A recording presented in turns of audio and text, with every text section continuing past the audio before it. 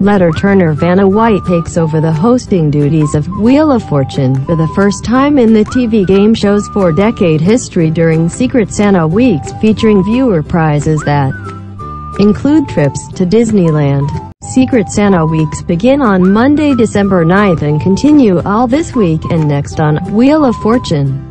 For the first time, Disney parks have teamed up with Wheel of Fortune to award prizes to contestants and home viewers. During Secret Santa weeks, whatever the TV contestant wins a home viewer also wins. The prizes include trips to Disneyland, Disney World and Disney's Aulani Hotel in Hawaii as well as vacations on the Disney Cruise Line and with Adventures by Disney.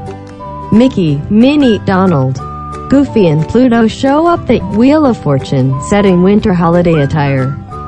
White stepped into the TV game show hosting role with the Disney characters after Wheel of Fortune. Host Pat Sajak suffered a health setback while the Secret Santa episodes were being recorded. Sajak underwent emergency surgery to correct a blocked intestine.